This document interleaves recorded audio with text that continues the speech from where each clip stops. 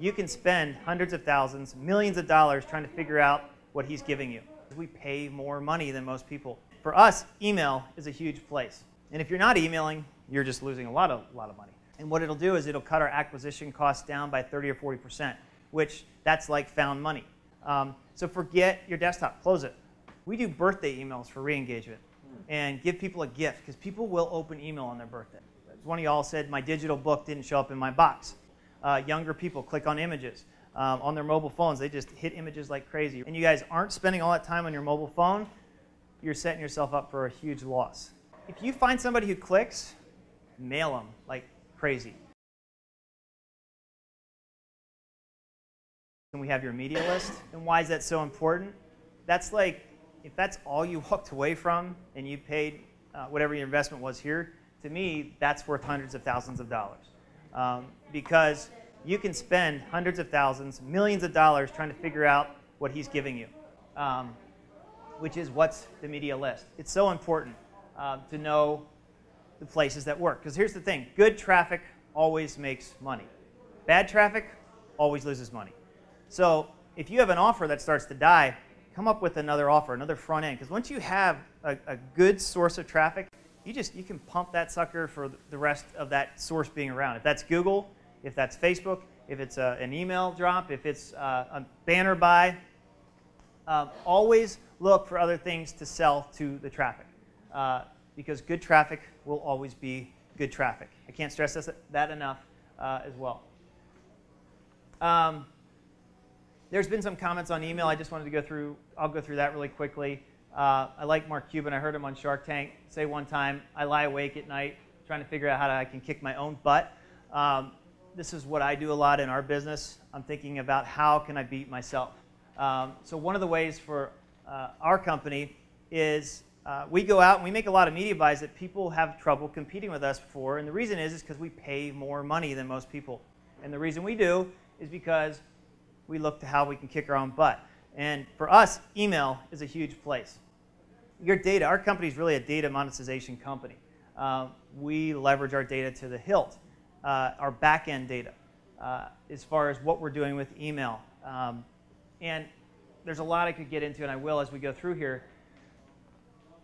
But I don't know your businesses as well as I, maybe I should come into this event, but email is, is key. When you have if it's a buyer list. If they're not a buyer, I'm going to go through some things we do.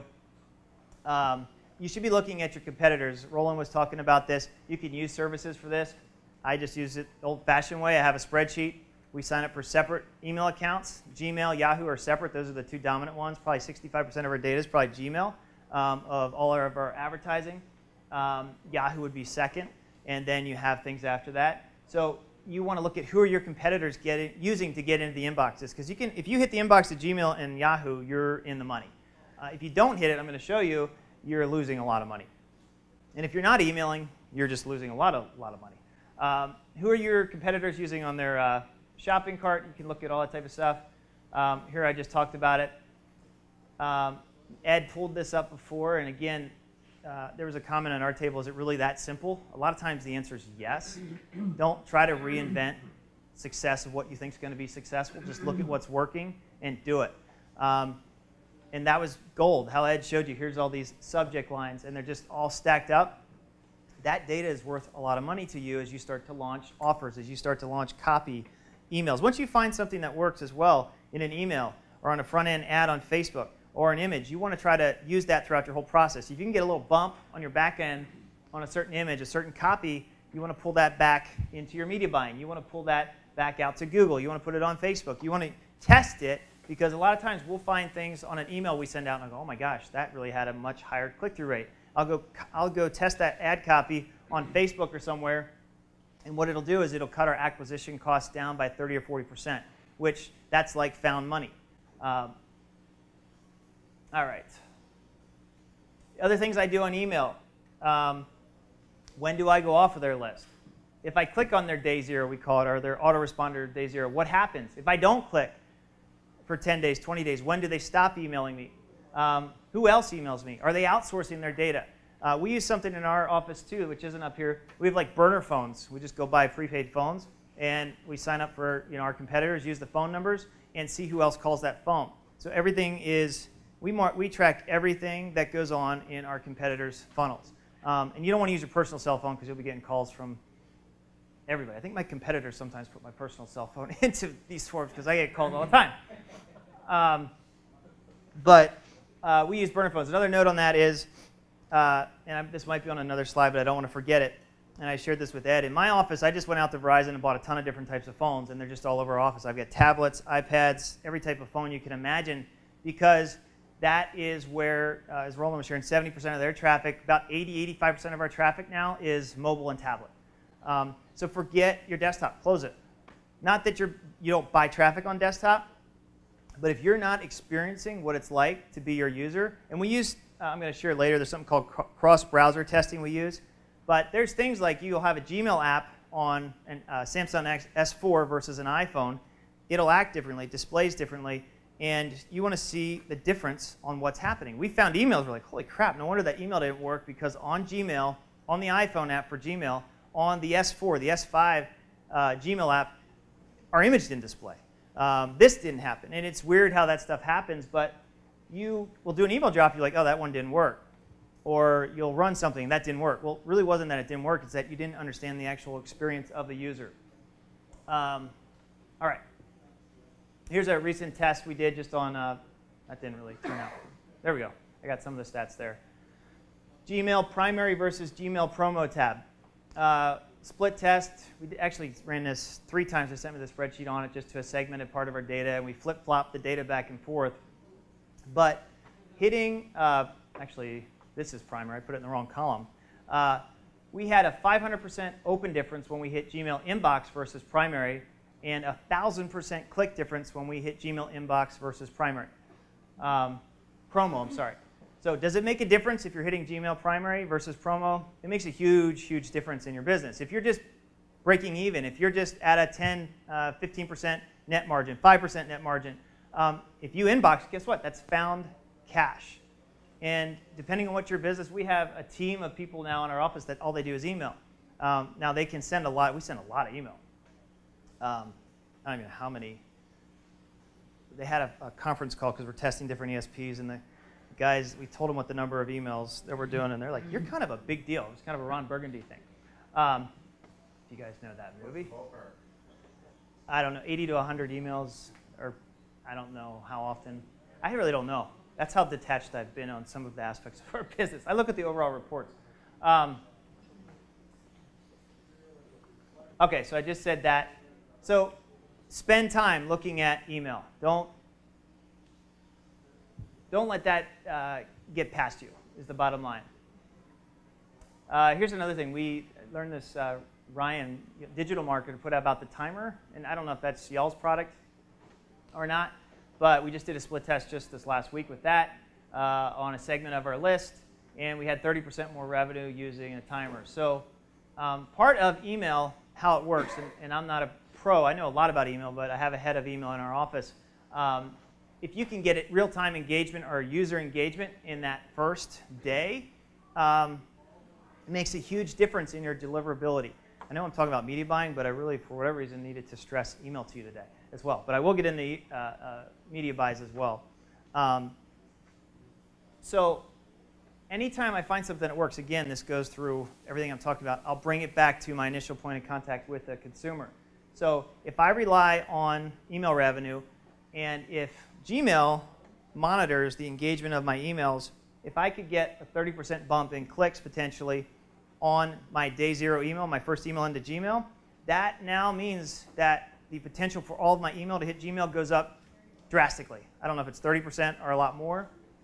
Um, the other thing then I'll do, actually what we're doing with this timer, I don't know what you guys do with uh, re-engagement, but we're, I just emailed our team today as I was putting this together um, we do birthday emails for re-engagement and give people a gift because people will open email on their birthday. They're looking for stuff on their birthday.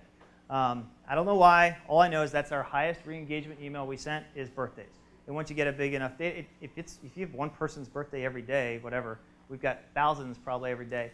Um, that is the best day we found to actually do re-engagement emails. Well, we're implementing that whole, and I used a timer. That, that's where you actually have a timer in your email and it's counting down like you're access to this product, this offer will uh, expire and it's just running in your email. That's what the timer is.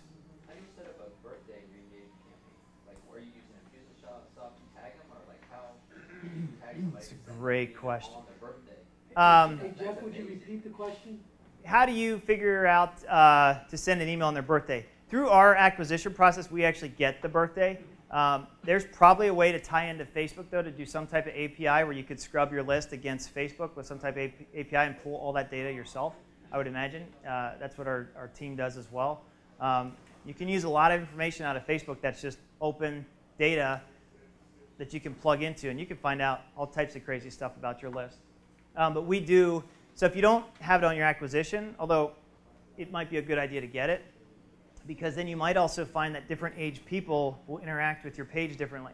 Like uh, I heard one of y'all said, my digital book didn't show up in my box. Um, so you want to know the age of who you're dealing with because that could also alter the back end process. It could actually, for us, it alters the real time process of what we do, of what we show people. Uh, younger people click on images. Um, on their mobile phones, they just hit images like crazy. We are talking a little bit about that. We've done split tests. Older people don't tend to do it as much, so we're doing more text based. We use larger text, all right? So if you have an older crowd, you should make sure your fonts are freaking big. Um, I'm getting to that older age now, so I can qualify. Especially in your mobile device. Like, look what Exactly. like there, right? And again, if you're doing email buys, just understand in most cases, 70 to 80% or more of that traffic you're getting is on a mobile device. So if you do all this prep work for this, these email drops you're testing, and all you do is look at your desktop, and you guys aren't spending all that time on your mobile phone, you're setting yourself up for a huge loss. Does that make sense? You're saying seventy percent of media buys are mobile traffic? Email media buys Email media buys. that we buy because people receive their emails on their phone. I don't think it matters across industry, honestly. Um, I think it would be the same for your market. It might vary depend, depending on age, but honestly, I mean, like I see my parents and friends, and they look at their email on their iPads and on their phones. They don't. They're not on their desktops anymore. Um, and if you're, here's the thing, like with y'all's markets, we took this stand about two, three years ago. I just said let's just, and it's because I heard the Google uh, CEO talk about it. Maybe maybe that's the first time I heard it, but basically Google stopped development on desktop and looked all mobile and apps and all that. So we took the stance of um, how can we be the first one in our market to really get mobile down and monetize the heck out of it, and we'll be the we'll be at the lead of the spends, and we'll control that part of the market. Well, here we are a few years later, and man, there's been a major shift. Uh, if you don't monitor your traffic, it is like huge with mobile now. And we are, if you were looking at a growth curve, it is straight up right now. Um, all right. So look at what's missing. Uh, the other thing when you um, monitor your, your back end uh, is just looking at your competitors, how the frequency of what they mail. Um, there's another thing I want to get to. Let me go right to this. You've heard of buyers in heat before? Anybody ever heard of that? You can raise your hands. I'm not selling anything. Um, uh, I've learned something called email in heat. Um, same way, like uh, in, in most buying things, you want to give people the opportunity to buy as much as they can on their first interaction with you. We're, we do the same thing. Um, we focus on clickers, not just openers, but when we have a clicker, we hit them hard that first 10 days because they're going to engage. We, I have split tested the heck out of all types of different data. And yes, we do try to build longevity into our list, all those types of things. But I have found, and it makes sense because it's similar to buyers in heat, we call it email in heat, is, I'm sorry if I'm in your way this whole time. Move out of the way. Um, if you find somebody who clicks, mail them like crazy. Um, and I'll go into my uh, email team and I'll say, okay, what are we doing with clickers right now? They're, oh, we're mailing them twice or three times a day. I'm like, now let's bump it to five. Let's bump it to six. Um, let's set things. If they click, we get another email right to them right away. Because we found if somebody, if you have the software to do this, if people click on an email and you can get another one in their inbox within like just seconds, they'll click on that one too. Um, and that could be, again, multi-channel. You could put them into, uh, Roland was talking about building a community. We focus on that type of thing. So it's not just selling your product. It could be, send, I, I was looking at a, a business model called BarkBox, and Roland says he's on a lot of those as well. But this guy is a really good example to look at about a, a, community because he puts together things that dog lovers love. So you can be communicating with people quickly. So your first email could be on something that takes them to. Uh, we did something last week. Uh, it was like on. We don't have a dog audience, but we did this dog food recall, and we had like a half a million to uh, in the first day come to our site. It wound up getting like a million people to our site in just a couple days um, on some Facebook post that just went viral. Um, so I don't know why I shared that. What, sorry, I lost my focus. Uh, let's see. You were saying, you were saying email them, like if they click on. Yeah, thank you. them again. Email them something, and you can go to the like BuzzSumo. You can email, you can create content, and I'm not going to get into Roland's presentation. I'm sure go through all of this. You want content that's relevant, you can email it out to them. You want that engagement on your list up. When your user engagement on your email is up, Gmail will let it in. That's not the only determining factor. There's a lot of others I could go into. I could do hours on email. Um, but I know if you get them engaged and you keep them engaged, they're going to stick with you. And when they're engaged, you want to hit them hard. And that might sound bad, but that's uh, the reality. Uh, When you say hit them hard, are you saying just more great content, or are you gonna have some offers in there too? I would have offers in there too, for sure. And then even when they go to your content, we mix in, or you can make money off AdSense, you can, but we also mix in our offer within content. We'll do content sometimes that will refer back to one of our products as well. It's almost like a review. Um, so that we don't have products like you would have, but similar type of things as well. Uh, email tools, uh, cross-browser-testing.com. I told you email. I think it's email on acid we've been using. Uh, mailcharts.com is another one, and, and Roland had mentioned another mail company earlier. I wrote it down. I don't recall the name off the top of my head. Um, MailCharts is kind of cool. We've been using them. You just plug in your competitors, and they send you. It's really nice. I get a weekly email, and I can log in anytime, but they uh, show you everything that's gone in your competitor's email, every email they've sent, the frequency, what time did they send it. It only costs like uh, $29.99 a month. It's 30 bucks a month. That data alone is worth a lot. And this is where I talk about burner phones. I don't know where I got burner phones, if it's from watching too much 24 Jack Bauer. Um, but you don't want to put your phone number, your real number into a lot of these things. But you buy a phone for 15 bucks that you throw away after they call you a few times, and who cares? Um, want $60,000 a day in sales. Is how much are you willing to lose? You can get all the traffic in the world five years from now and go, what the hell am I doing here? 3,000 a day, 30,000 a day, 300,000 a day. Gross doesn't really matter. Are you netting out money? This is like a legal presentation. These are all my disclaimers up front. Don't take money from your business in the beginning. Facts tell, stories sell. Go to your demographic and find out what they want.